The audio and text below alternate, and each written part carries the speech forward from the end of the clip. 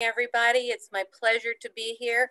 Um, I'm going to go ahead and get started on the material because I don't want to run over. I would like very much to get through it and give you chances to ask questions. So I'm just going to jump right in. So tonight we are going to discuss why talking about stroke is important.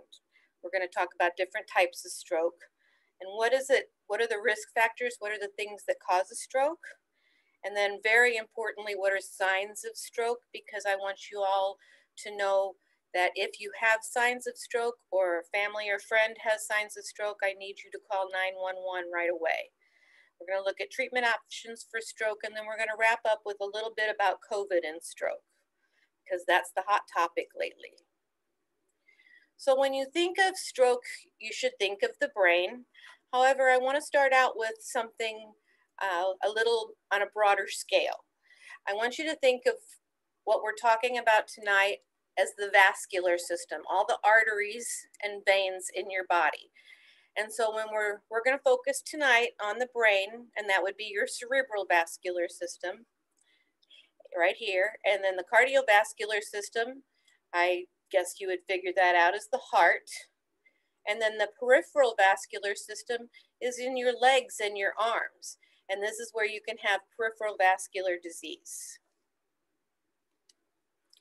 So here's for the brain attack or for patients that have cerebral vascular disease.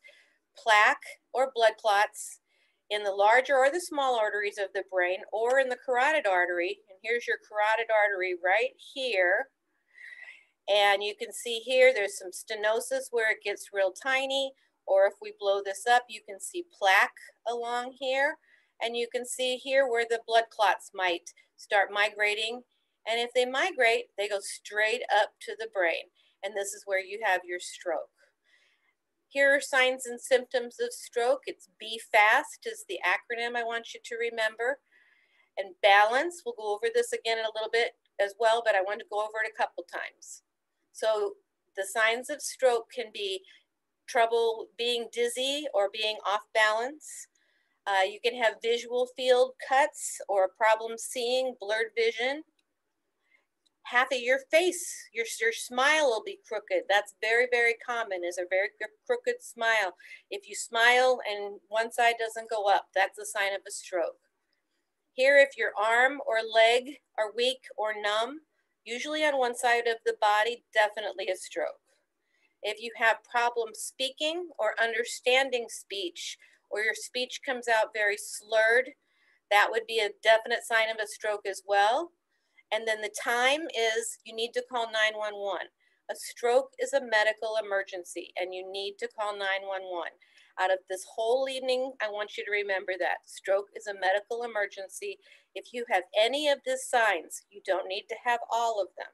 If You have any of these signs, then you would be having a stroke and you need to call 911.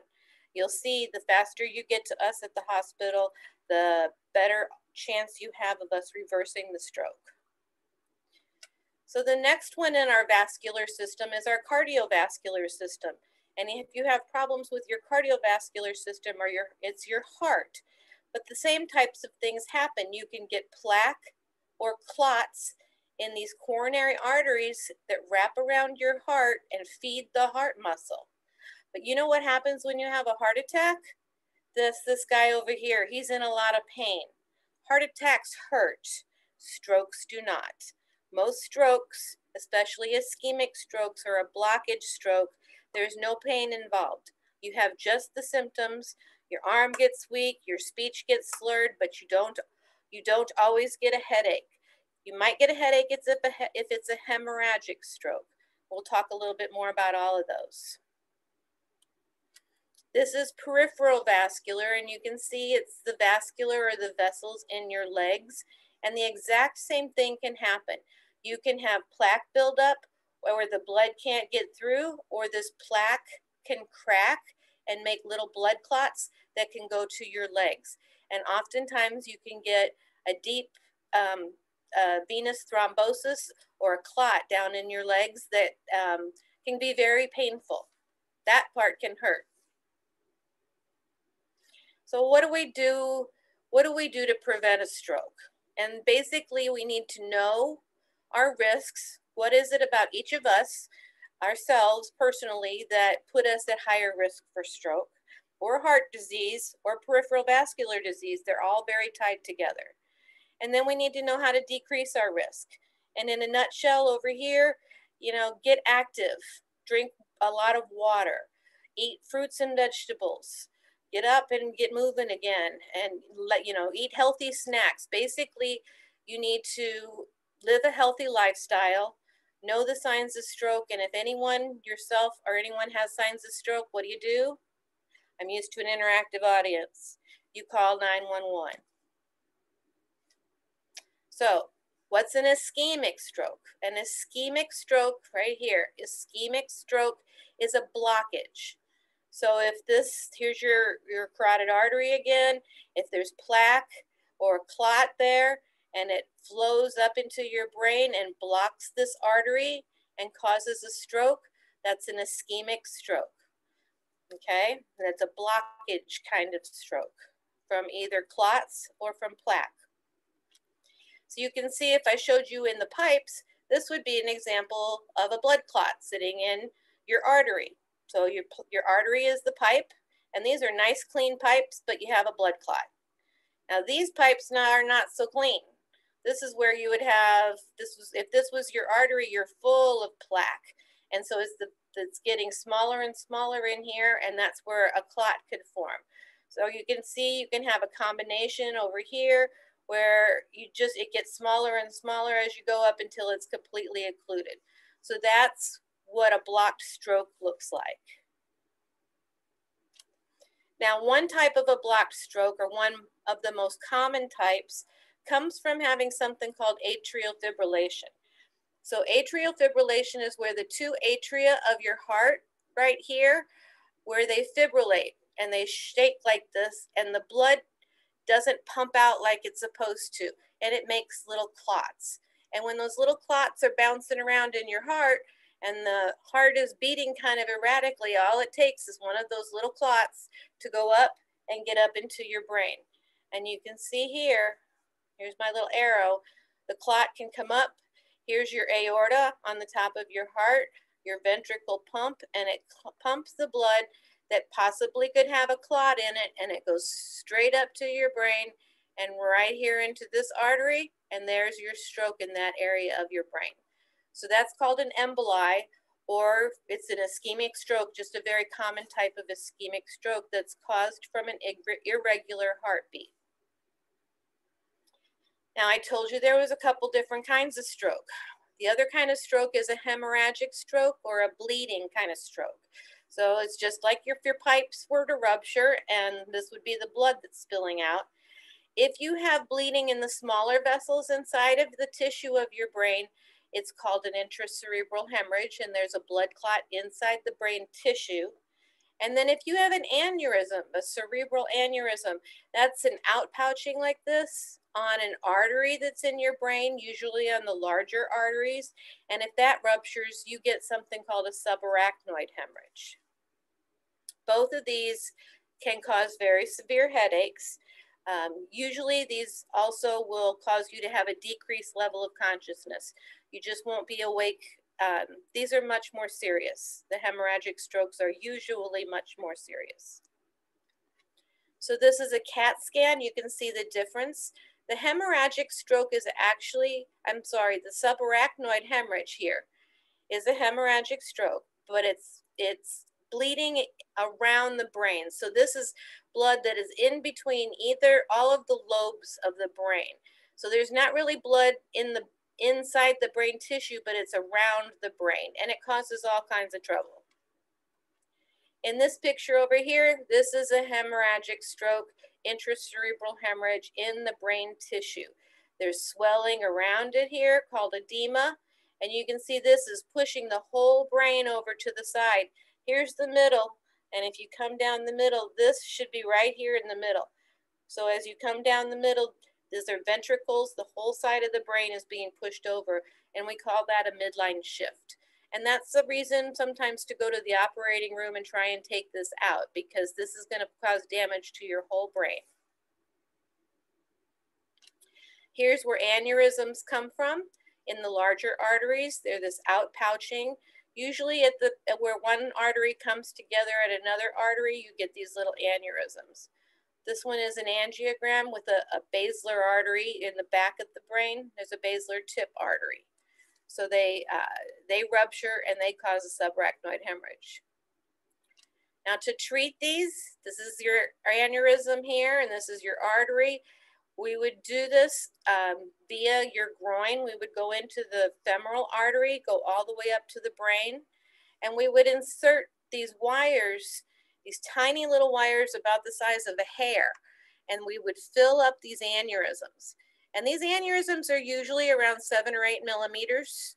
Um, so they're pretty tiny, but you fill them up, you fill them up with the, uh, the coils until you can shoot some dye across here and no dye goes into the aneurysm. That makes it secure, it shouldn't rupture, and it shouldn't bleed anymore. Another option to treat an aneurysm is to clip. When you do an aneurysm clip, you take um, the skull off and it's a big open, open craniotomy. They go in, kind of try to go underneath this temporal lobe here. They get up inside to get to those tiny little aneurysms and they put a clip on them. And it depends on what kind of aneurysms they are as to what kind of treatment we would do. Now let's move into a transient ischemic attack. So a TIA means, I've heard them called a mini stroke, but in all honesty, a TIA means that you got lucky and you didn't have a stroke. So the TIA, it means that you're starting to have an ischemic event or, or a, um, an ischemic stroke, but then for some reason that clot dissolves and you start flowing back to that area of your brain and so your symptoms go away. They usually resolve in 15 minutes or so, sometimes a little bit longer. Um, it's similar to like if you're going up up steps and you um, get some chest pain and you sit down and rest and your chest pain goes away. This would be like that only in your brain. And now I'm going to show you this video of of someone having a stroke or having, I'm sorry, having a TIA. Here you go. How pretty was that? Not bad, but not half as pretty as this. Bring it on.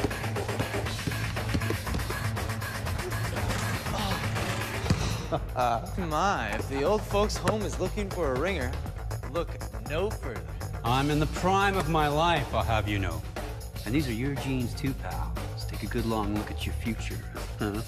Well, I don't know about my future, but uh, I think I can see my reflection. Such disrespect. Come on, free shot. I bet you can't make it from here. Look at his What, right you arm. afraid of losing our bet? Watch his right arm. Now listen to his feet. Dad, are you okay? Grrr, grrr, Dad. There's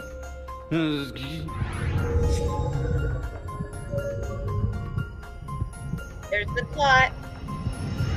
Stop the blood flow Look, let's sit down, okay? in the area that controls his arm and his speech. Now Going going away away. now. What was that? I mean, one second you were fine and the next you're all limp. I'm not sure. My hand went a little numb, and I I couldn't seem to get any words out. but I feel fine now. Well, we're still not playing. Oh, sure, we gotta finish. No, Dad, sit down. Something just happened to you. I'm calling for help.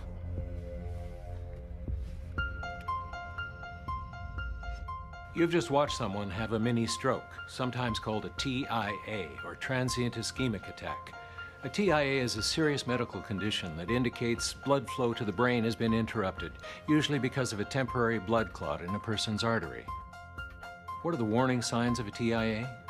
Well, as you've just seen, a person may suddenly feel weakness, numbness, or heaviness, even in a small part of the body like the hand, face, or foot. It may be hard to speak or understand words. Things may look blurry or dim, and a person might feel dizzy or clumsy on their feet. You might also experience a sudden headache that feels like a severe migraine. Symptoms might last a few hours or only a few minutes, but a TIA is a serious medical condition regardless of how long the symptoms last. It's your body's way of warning you that you're at risk of having a stroke. Just like chest pains can warn of an impending heart attack, a TIA can warn of an impending brain attack, which is why we also want you to think of TIA as take immediate action. If you or someone you know experiences any of these symptoms, call 911 or get to the hospital immediately. The minutes you save could also save a life. So now there was a good example of a TIA. And what did the guy do? He says, Well, I'm fine now. Let's go back and play basketball. And that is not the right answer. Uh, but that's what happens very, very often. If you have these types of symptoms, this you, your risk of having a stroke 10% within 48 hours, 20% within three months. So really, if you have those symptoms, I think you should go to the emergency room. At the very least, you call your physician and tell him that you just had these symptoms and he, you need to come and see him. And he should either tell you to go to the emergency room or he should come um, and uh, have you come into his office and start working you up. It cannot be ignored or you'll be back in with us having a full stroke where the symptoms don't go away. It's very scary and often strokes are led by a TIA. So what causes a stroke? What, what causes a stroke with all of us? So here's a risk, uh, your scorecard, a risk scorecard. If you have high blood pressure, you're at a higher risk of having stroke. The higher your blood pressure is, the higher the risk is. If you have atrial fibrillation, like I showed you earlier, where it beats, um, that is a very high risk. That's like five times the risk for having a stroke than normal. Being a smoker makes you an increased risk. Having high cholesterol, having diabetes, not exercising, being a couch potato is definitely increases your risk. Eating a poor diet, being overweight, and eating unhealthy foods puts you at high risk. And if you have stroke in your family or even heart disease in your family, then it's not really hereditary, but it, it's familial, meaning that you will be at higher risk. If you have family that have had stroke or heart disease, then you are at higher risk for stroke and heart disease. So if you go and check these off, uh, you can see what your risks are. If you have, you're very high risk if you have three reds. You're, if you're in the caution, you still need to be careful and reduce your risk. If you're all green, then you're doing good and uh, you're probably pretty safe. Now, there are things that you can't change, like your age, and more males are having strokes than females, but more females die from stroke. Um, if you are older, older people have are much higher risk for stroke, but I guarantee you it is not just about old people. We have had I teach a pediatric stroke class. We have a pediatric stroke program here because kids have strokes for different reasons. You usually don't find a four year old that's smoking, but they have cardiac problems or they have other diseases that cause their blood to clot differently. And so even kids have strokes. If you look at race, African Americans have more intracerebral hemorrhages, and Asians have more subarachnoid hemorrhages. Um, Hispanics are all very high for ischemic strokes, and then Caucasians all fit in there somewhere, but race plays a part as well. And as I mentioned, the family history does play a part. So these things you can't change. But there are things you can change. If you have high blood pressure, then you need to work with your physician and get it under control. And 140, you know, 140 over 80 or 140 over 90 is not okay. Even if you're 80 years old, it really isn't okay. Um, we push to get their blood pressures, our patients' blood pressures down to like 120 over 80 in the majority of the patients. Um, there are special considerations that that's why you should always work work with your physician. Um, but you need to get your blood pressure down. And if you're on blood pressure medicine, you should be taking your blood pressure at home at least once a week and keeping track of it and looking at just looking at the trend. If you have one high blood pressure, but all the rest are low, it's not nothing to worry about. But if you are trending up or you trend or you tend to have higher blood pressure, you need to call your doctor. Even if you have a, an appointment in two months, you need to call your doctor and get back sooner than later. Tell them your blood pressure is too high and you need to come in and they should try some different medications. High cholesterol. Uh, if you don't know what your cholesterol is, then you need to get that lab drawn, know what your cholesterol is, and, and if it's high, you need to work on it and get it lower. For total cholesterol, we want it less than 200. For LDL, which is considered the bad cholesterol that builds up in your vessels, and then that cholesterol with a stroke patient, excuse me, we actually want them down closer to the 70s. So anything over 70, 100 is fine if you have no other issues. If you're 20 years old and it's 100, that's fine. But if your cholesterol is, is high and your blood pressure is high, we want your cholesterol to be lower. You can see what the cholesterol does to your vessels. It just makes the lumen tinier and the blood can't get through. Now, HDL is your good cholesterol. You can call the LDL lousy cholesterol and the HDL happy cholesterol. But the good cholesterol helps to carry the bad cholesterol away. So you get your good cholesterol higher by exercising more and by eating healthy fats like almonds, um, salmon, mackerel. You're looking at, at good healthy fats. And cholesterol matters. Now, this is a uh, something that one of my patients showed me. Um, the patient was the wife, and the husband was the engineer. And you can see this is from 2001. I've been doing this a long time. This this patient, uh, his her wife, his let's see, her husband, sorry, tracked her cholesterol, and when she got high like this, this is when she had her stroke. And so means this is 228 is her LDL. So this is really, really high. They got it under control with medication. She decided the meds were bothering her. She didn't want to take them. She stopped taking them. Her cholesterol went back up. She had another stroke. Got them back down. And then here she actually had a TIA. Um, so you, you can just see that, that it is really important to, to control your cholesterol. Now, why does diabetes increase your risk for stroke or heart disease? Well, basically, what diabetes does, your if your sugar levels in your blood are too high, it damages the small arteries in your body. So you can have problems seeing. Those are very small arteries that are in your eyes, very small arteries in your brain, causing a stroke. Small arteries in your heart can cause heart disease. You can have nephropathy because you have very small arteries in your kidneys that can that are filtering your blood and that can cause kidney disease. So if you ever know anybody that has very brittle diabetes or has walks around with a really high blood sugar, they often are on dialysis. They may have um, lost a leg or some toes because it doesn't they can't uh, perfuse and get blood supply down to your nose down to your toes.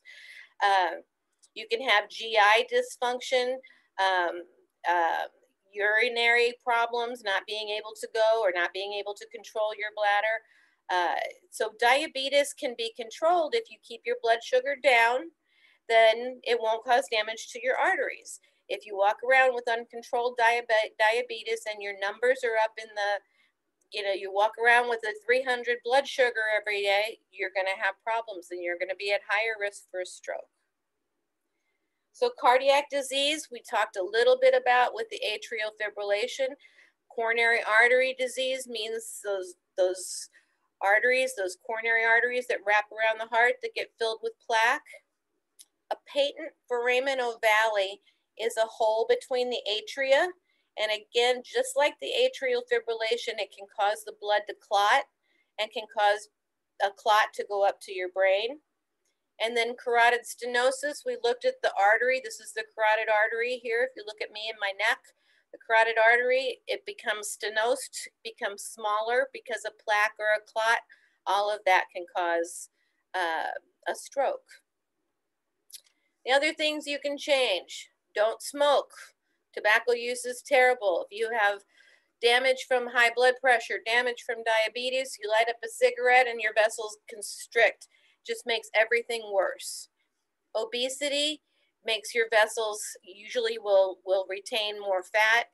Too much alcohol can cause liver damage and can cause a hemorrhagic stroke.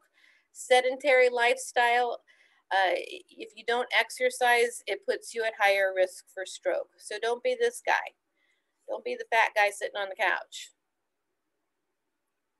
Smoking is poison.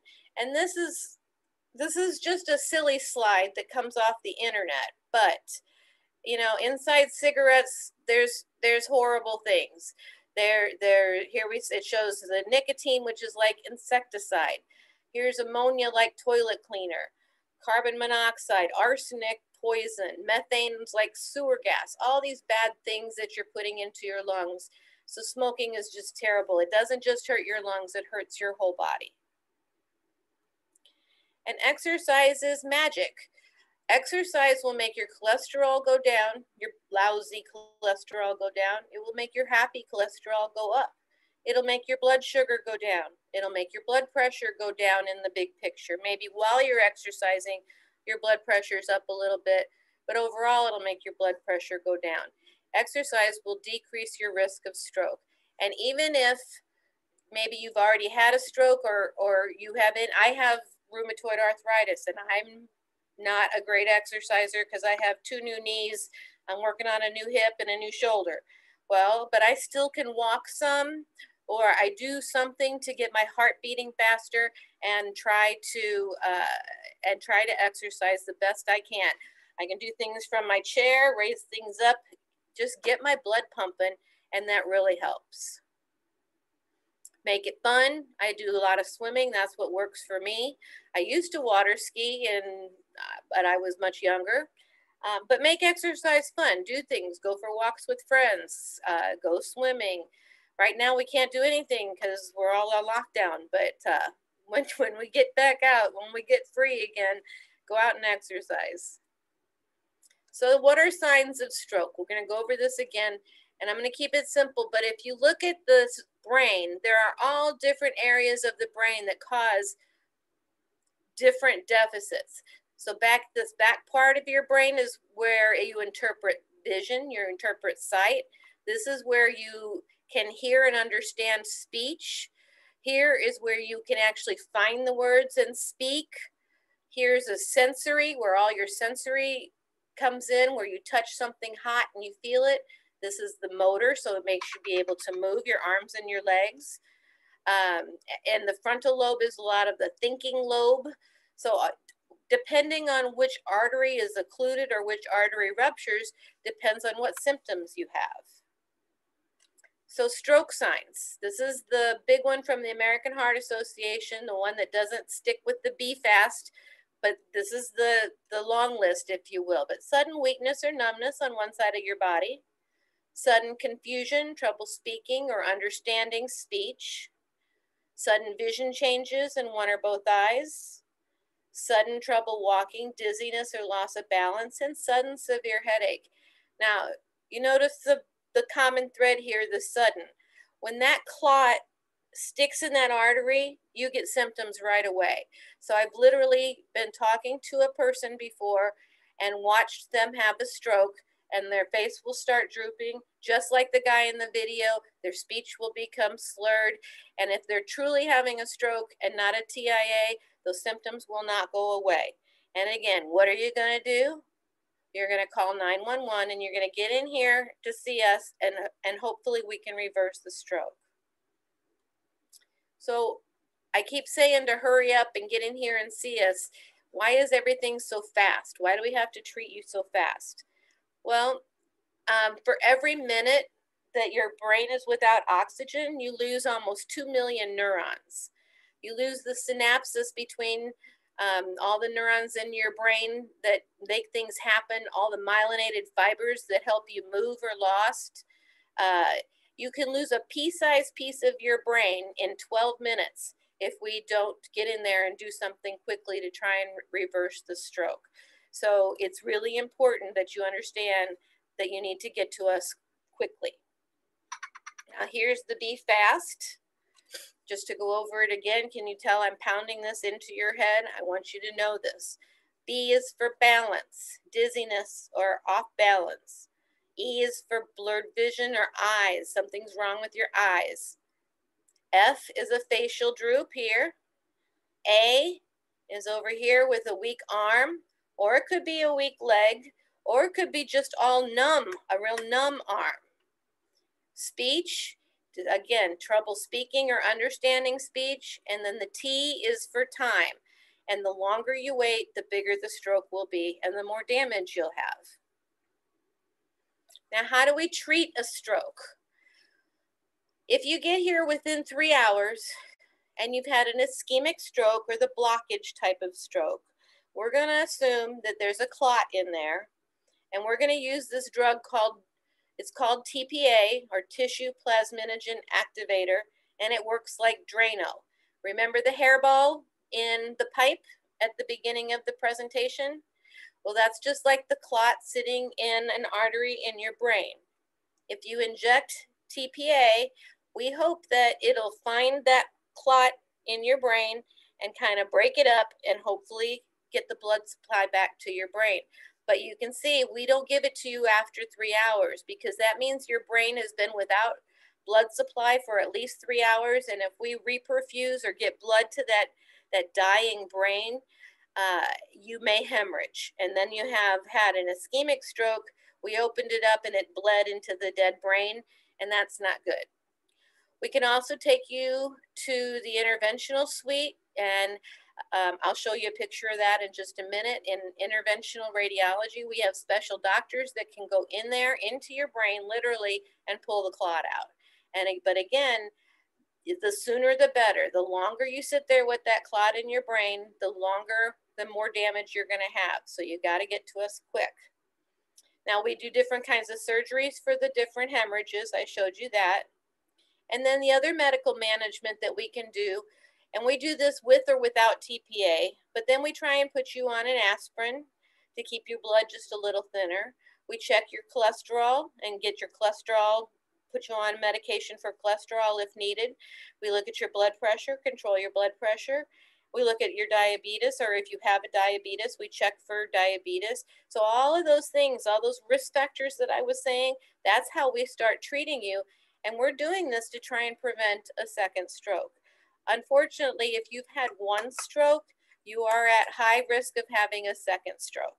So it is very, very important for you to manage your your symptoms, if you will, or manage your risk.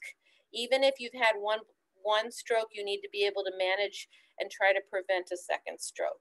And then rehabilitation, I put forever.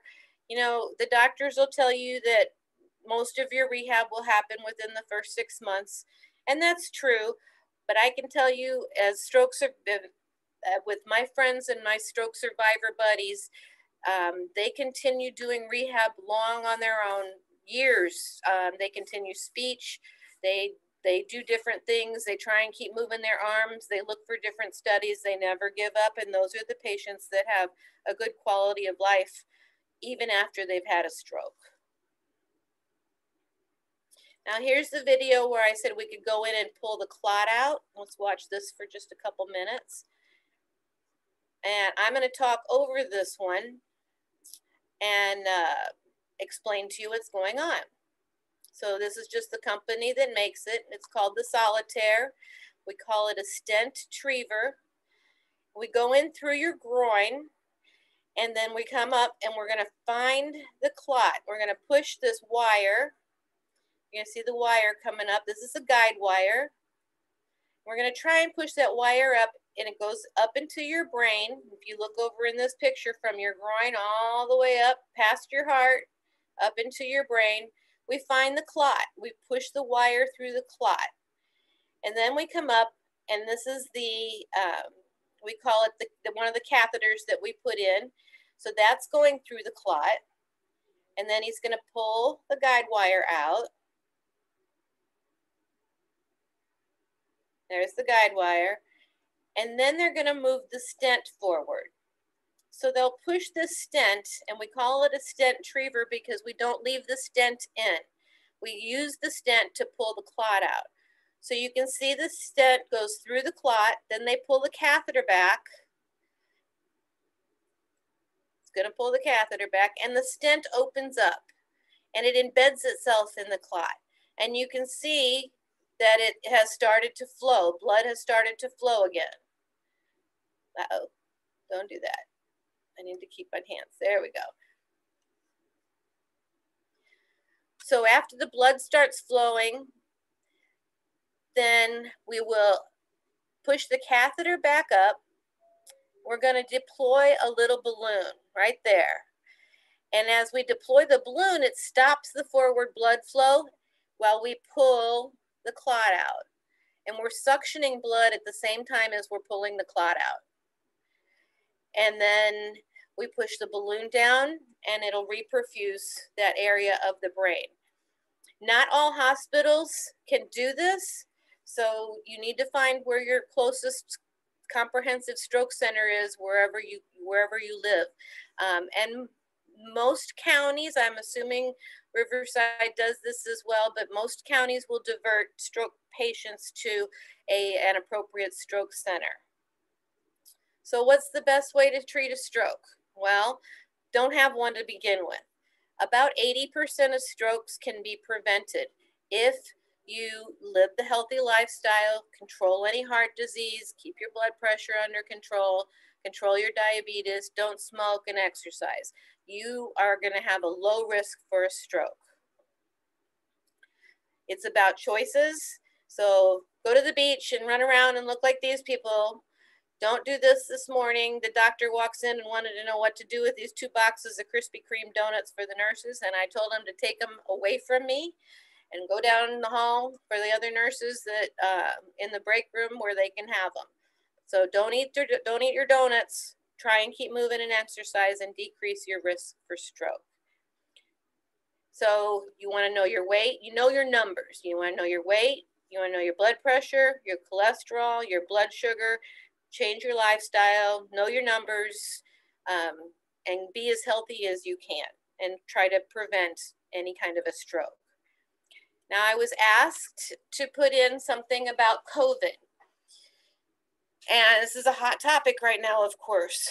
Um, I'm still at work right now. We have so many COVID patients, as most hospitals do. Um, our COVID patients are not all old people either. They are younger people. Um, everybody knows, or most people understand, that COVID affects your lungs most of the time. And um, this is a chest x ray of someone with COVID, and you can just see all the white. I've heard it, this is a CAT scan of someone with COVID, and I've heard this referred to as looking like broken glass. So these are what lungs look like of somebody that has COVID. However, what we have found is that COVID has a tendency to cause your blood to clot more. And so we are seeing some very young people come in with very large strokes that are, they have no other risk factors other than we test them. We test every patient that comes in, every stroke patient that comes in for COVID. And um, we're finding a, a, an amount of patients that come in that are having strokes. We're having inpatient code strokes in the patients that come in with COVID that are here for COVID and hadn't had a stroke yet, but while they're here in the hospital, their blood thickens because of the COVID and they may have an ischemic stroke. So this is from the Washington Post. I could have made a hundred slides about this. There's so much information out there but young and middle-aged people that are barely sick, even with COVID, are dying of strokes. Um, these doctors sound the alarm about patients in their 30s and 40s left debilitated or dead, and some did not even know that they had COVID. They came in with a large stroke, and we found that they were COVID positive. So if you look over here, COVID can cause blood clots. It causes abnormal clotting, not just in your head though. So it can cause strokes, but you can also get clots in your heart or in your lungs that cause it's called a pulmonary emboli. You can also get clots in your heart, and so your increase of risk for a heart attack if you have COVID or called an MI, a myocardial infarction is also a heart attack. Um, and then there's something called ARDS, which is acute respiratory distress syndrome. And that's what you see here. Basically, your lungs are kind of whited out. And, um, and this time it's caused from COVID. So I think that's all I have. And I've left you 17 minutes for questions. Alina? Thank you. What questions do we have? Thank you so much. First of all, that was a lot of information, but a lot of great information, especially the videos and just getting um, the visual representation of. Yeah, I like I like pictures. Excuse yeah, me. I love it. I love I it. Like pictures, yeah. So if you um, do have any questions, please you can go ahead and put them in the chat right now. Um, or the Q&A. And thank you for touching on um, obviously what's, what's going on right now. And I know that's um, kind of top of everybody's mind, but I, I appreciate, um, well, so I actually had a question and, and one thing I wanted to know from you. So I know you touched on, um, you know, some of the things that could be done, the healthy eating, exercising, um, and my question is this so, how much does stress management play into that? Because, you know, it's here we are in December um, and things are, we're getting a glimmer of hope, but things are still really stressful, right? So, um, for somebody that either maybe checks some of those marks, which I really like that scorecard that you shared, um, but somebody that's high there, or just somebody maybe that's already had a stroke, how does stress ma management tie in? Well, there's a lot of research going on with stress and strokes and stress and inflammation in general. And so stress causes or stressful situations can cause increased and an increased inflammatory response in your body and and um, increased inflammation can cause some clotting that can also cause the stroke so there's no direct Im- immediate correlation saying that stress is going to do this. Um, some stress is good. You know, I know I work a little better under pressure and I get things done right at the end because I'm a little stressful. That kind of stress is okay. But, you know, I, I was saying last week, my mental health wasn't great. I was letting everything get to me. Um, I felt just horrible all week. I worked, but I was wasn't a physical horribleness. It was out of control kind of thing. And I really worked hard to try and get that under control so that I can I can continue to, to work and help people and do what I need to do. Um, stress is tough to control. So what I do, so so to answer your question, yes, stress can cause not just a stroke, but can cause cardiac disease um, and and anxiety and so many other things. Um, but I, I, what I try and do is to be very mindful and be in the moment. Even if I'm in having a stressful moment, I'll take a minute to take some deep breaths and calm down. And then when I get home, I try and meditate. And I just really try and focus on my breathing and bringing my shoulders down and relaxing and trying to get myself unstressed out. Um, that's that's my best answer for stress and stroke. Thank you. Thank You're you welcome. for sharing.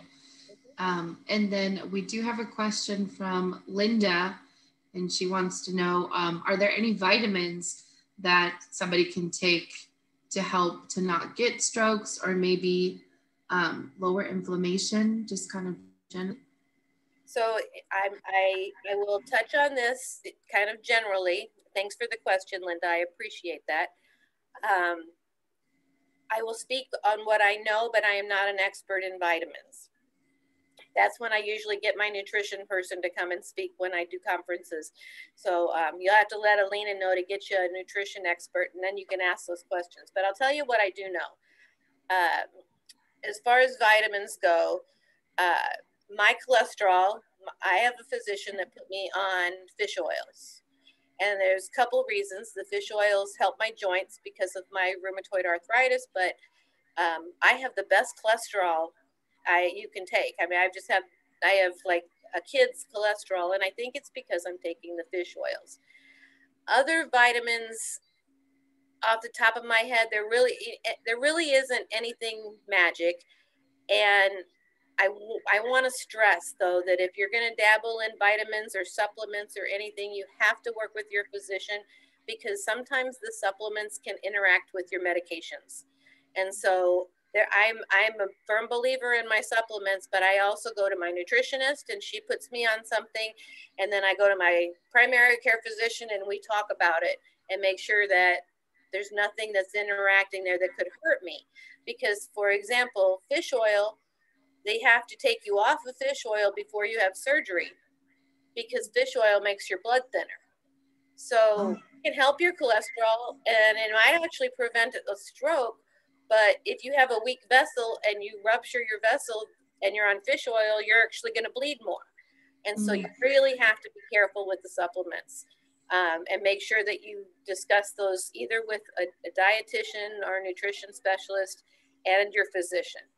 And physicians are not very good at supplements, but they they're good at their medicines. So they they put those together and, then they can figure it out. Thank okay. you.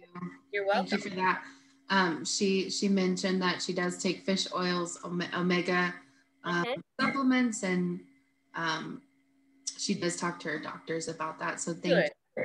And then and I, I, take the omegas too, Linda. I think that's good too. but that's good to know. I, I I had no clue personally that you know that certain supplements you need to come off of before surgery. I mean, I guess that makes a lot of sense, but I wouldn't have think thought of that. Um, and then I, a, an additional question is, so what would you say to the person that maybe right now, this year especially, is not very active? Um, they're not eating the best. Again, stress on stress. Maybe they're a caregiver um, and they're not doing a lot. Like when we say um, exercising, or, or you say, you know, get moving, how little or much could that look like for them to get started? So the American Heart and Stroke Association recommend 30 minutes a day for at least five days a week. So that doesn't mean you have to jog three miles in that 30 minutes. Um, like I told you earlier, I shared that I don't get around all that great sometimes. Um, my feet hurt so bad by the time I walk to my car. So I, I, I do little things. Um, I bought a video and it's got a little dance. I like to dance. And so it's just got some nice, easy little back and forth step dancing on it. And I like the music. It keeps me moving. It goes by fast and I'm moving. And if I need to stop and sit down for a minute to rest my feet or whatever, I do. But 30 minutes a day for about five days a week. Uh, it doesn't have to even all be at the same time. You can do little 10 minute pieces, you know. Um, I see, I saw somebody sitting outside this morning on a bench I don't know what she was waiting for, but she was sitting down and then she'd stand up and then she'd sit down and then she'd stand up. And she did she did it like 10 or 15 times while I was waiting for the elevator. How sad is that? um, but there's little things that you can do. You just got to keep moving. You have to keep moving. Great. Well, thank you so much. You're welcome. So um, if there aren't any other questions right now, like I said, so this will be uh, going up on our YouTube channel and we'll send this out to you along with the slide deck, which I think is so important because um, you put a lot of great stuff in there, Angie, Thank the videos as well.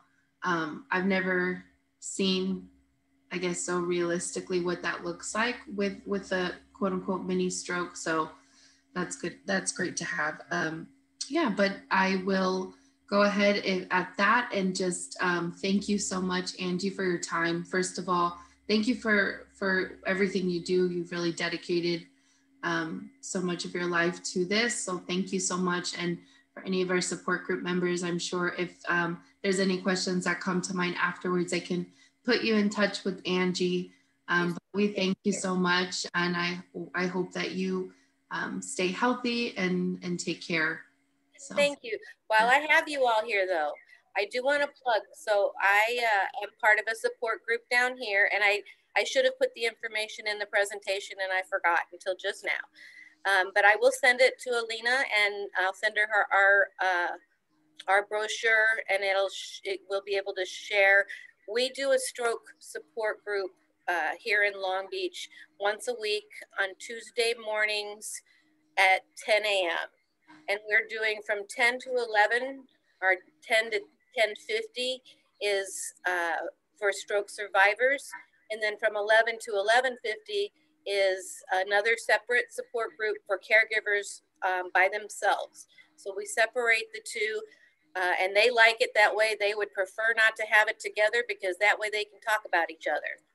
Uh, it works, but I want to make sure it's, and we're doing it all Zoom right now, and the Zoom isn't probably going to go away for a while. So there's no reason why you can't click in and join us if you'd like. Uh, um, so I will share that with Alina tomorrow when I get back onto my computer and, uh, she can put that up for us. Um, and maybe one of you would like to join us. Thank you. Yes, right. great. Oh no, I, th I, thank you all so much. I'm sorry, Alina. I just want to wish everybody a happy holidays and stay safe. Wear your masks, wash your hands, um, stay out of big groups, and uh, I'm really, I wish I could see your faces, but it was really nice to talk to you all tonight. Thank you for having me. Thank you, Angie. I'll make sure um, everybody gets that information. Thank you so much. Okay. And good night. Good night, everybody. Thank you for joining us. Take good care. Good night, everybody. Bye-bye. Bye.